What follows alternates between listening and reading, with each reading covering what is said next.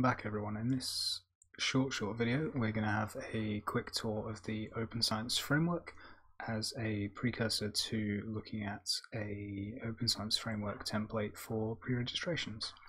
Um, so we're starting off now on the standard dashboard. I've already signed in. Um, I advise everybody to make an Open Science Framework account. It's both useful for uh, sharing um, and even just storing your own data information. It's really useful to organize projects and information within those projects. Um, one of the nice things about OSF is being able to connect with your ORCID really easily, straightforward, um, and to be able to connect all of your work that way. Another kind of useful thing is that your projects can be public or private. So you see here that I've got uh, several private repositories. Um, at the minute, they might just be ones that are set up to share in the future. For example, uh, when a paper is submitted or pre-printed, or they may be ones that you're deciding that you just want to store some data or uh, study materials and maybe share them at a later date or even just keep them for your own research. And what we'll do is just have a quick tour of one of my projects that is a previous study that I've pre-printed um, just to give you a tour of the system. So you can see that all the projects here we can have a look through.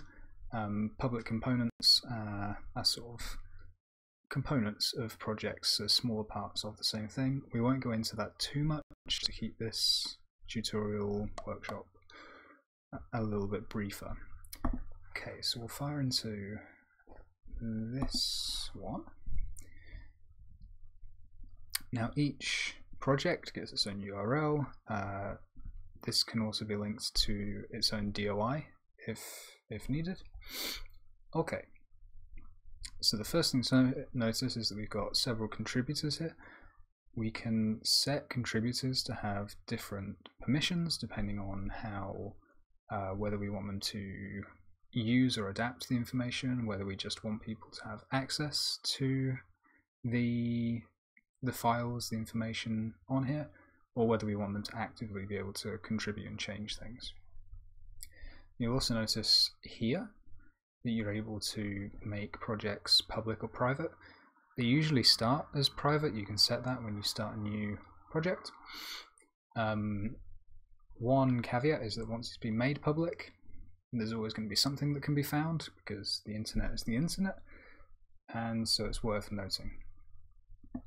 Okay, so we can have, as we have here, a DOI for the particular repository, and this might be useful if you're using the repository to also store data and code, for example, and you want that to be itself indexable and citable, for example.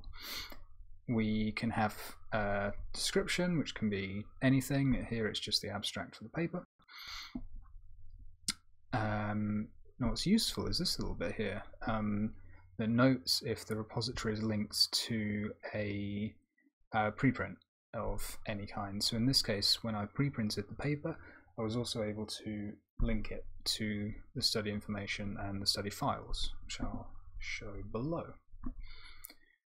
Now, um, in here, in the components, we can have a number of additional components. Um, you, you might split, for example, a project into several different studies that each have their own sets of files and so on.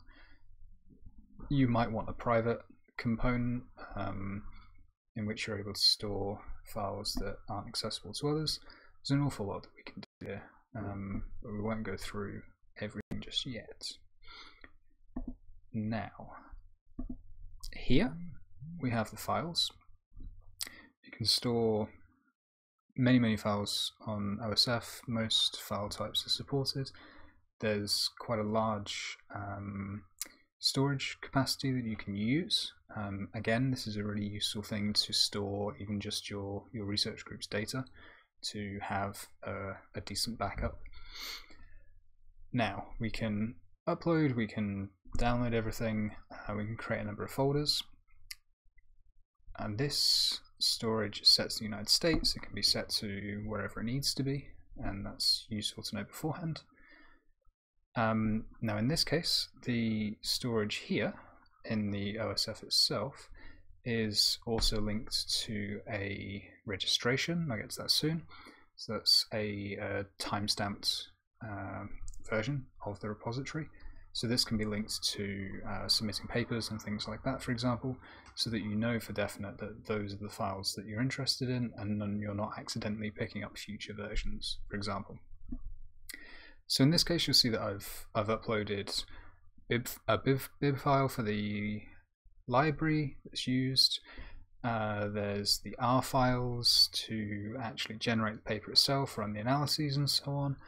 There's a folder with the raw data. There's folders that also include the, the summary data. There's the output itself. We can store a number of things here. It's extremely useful. And you'll also see that above I've linked this to a GitHub repository for the same project. Um, that can be useful if you want a, a changeable version. I like personally using the OSF version as a more kind of permanent um, attached to a submission, for example, and the GitHub is a more changeable so that I can fix bugs or anything like that if need be. OSF also tracks the activity that you use.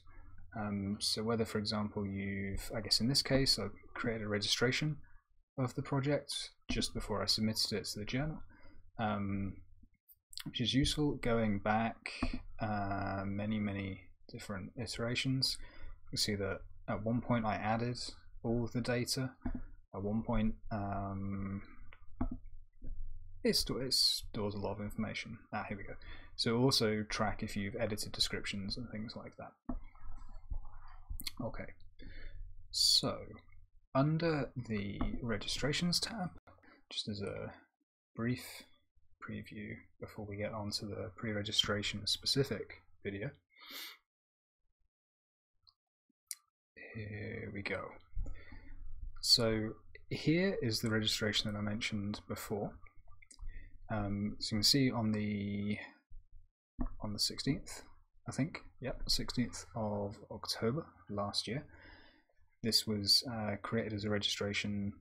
Um, this particular open-ended type, uh, don't need to know too much about. It basically just timestamps everything and creates a copy, so so that you're able to track this change. That's the important thing.